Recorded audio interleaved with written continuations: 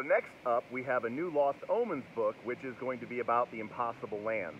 And I don't really know a whole lot about this area of Golarion, but I do have to say that the art for this looks incredible. And actually, a lot of the art that they showed during the keynote, I thought was some of the best I've seen in a long time. So I am really actually excited about that.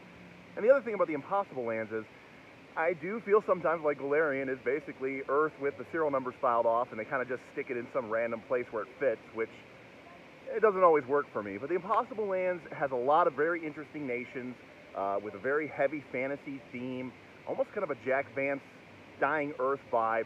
I think it's going to be a really interesting Lost Omens book. Lost Omens books, not my favorite books, but at the very least, I think there's more to offer here than I would traditionally like in a Lost Omens book.